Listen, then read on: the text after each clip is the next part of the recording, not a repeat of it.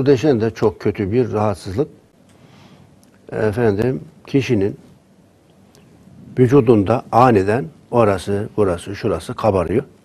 Kaşınıyor. Nokta şeklinde oluyor veyahut da biraz büyükçe. Dalga dalga, dalga yayılıyor. 7, 8 sene önce bir beyefendi gelmişti bana.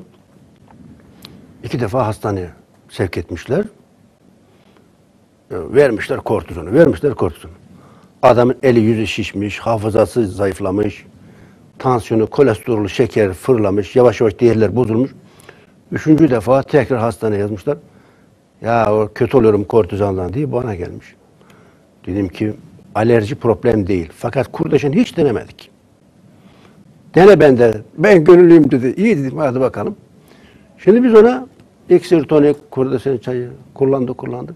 Yanıma geldiğinde böyle kaşınıyordu. Her tarafı kabarmış adam. Orası burası kaşıyor. Kaşındaki yerler böyle kabarıyor. Bazılarında anjiyo ödem bir rahatsızlık olur kurdeşenle birlikte. Bir bakarsın dudağı böyle sarkar. Çenesine kadar böyle. Devenin dudağı gibi böyle sarkar. Vaya bazılarının gözü böyle şişe, göz kapağı gözünü kapatır. Maskeli gibi böyle. Ekstra bir şey yapıştırmış. Ama boğazı şişerse ne olur? Allah korusun nefes alamaz, ölebilir. Tehlikeli. Evet. O nedenle anjiyo ödem, boğazda şişme oluyorsa tehlikeli. Bu beyefendi dedim ki Ali Bey 3 ayda veya 4 ayda iyileşebilirsin. 3 4 tahmini. 35 gün sonra dedi ki hiçbir rahatsızlığım kalmadı. Olmaz. Devam edeceksin. Bağırsaktaki mantarların yok olması, midedeki bakterinin yok olması gerekir. Zaman lazım. Acele etme. Yok hiçbir şey ben artık bunu kullanmıyorum. Ama dedi hafif Parkinson başlangıcı var. Çay ve çorba içerken eli titriyor, hanımı yardım ediyor. Bunun için bir şeyim var mı? Buna yardım et şimdi dedim. O da problem değil. Yeni başlangıç olduğu için. Hamdolsun birçok kişi hallettik. Fakat bir gün bir hanımefendi geldi.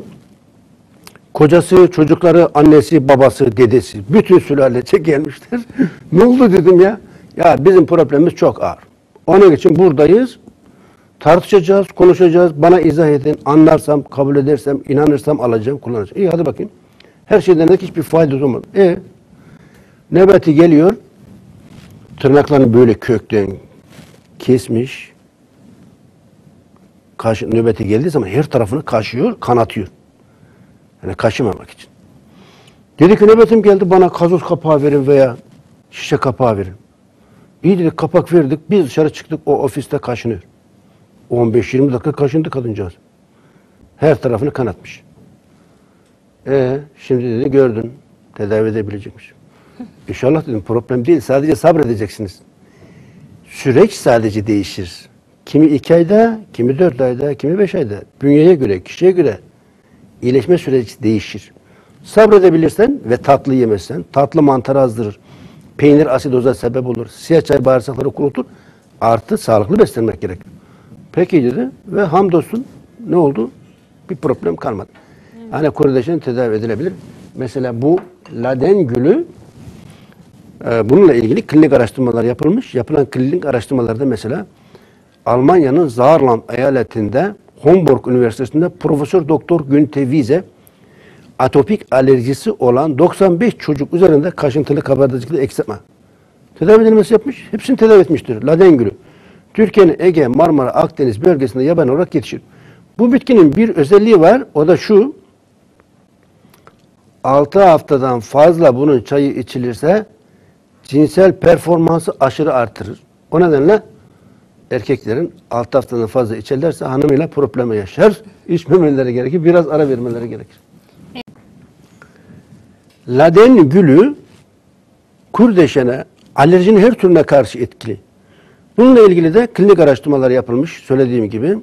Profesör Doktor Günter Wiese ve ekibi bir defa, iki defa değil birkaç defa birçok hasta üzerinde önce 95 çocuk üzerinde denemiş daha sonra üniversiteyle birlikte birçok hastayı tedavi etmişlerdir. Ülkemizde yetişir. Fakat şöyle yani ülkemizde yetişir dediysem hemen gidip laden gülü toplamaya çalışmayalım.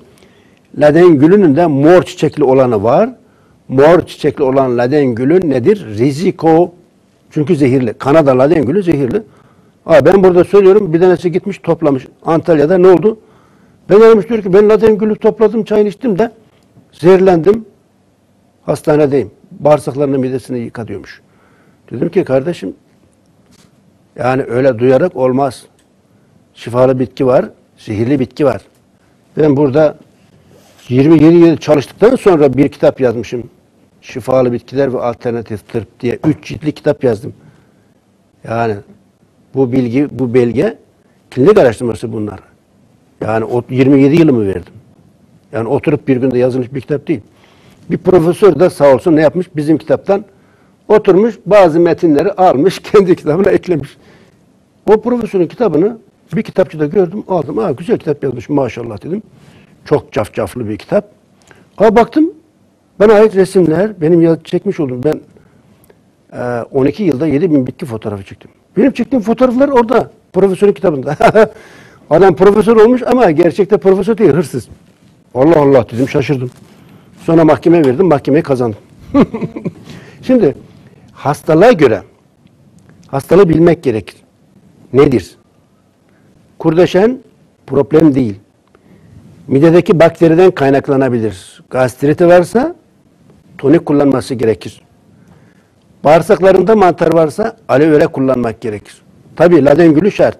Yani rahatsızlığa göre. Rahatsızlık neyse ona göre bilmek ve ona göre uygun ürünleri kullandığı zaman kişi problem ortadan kalkar. Evet.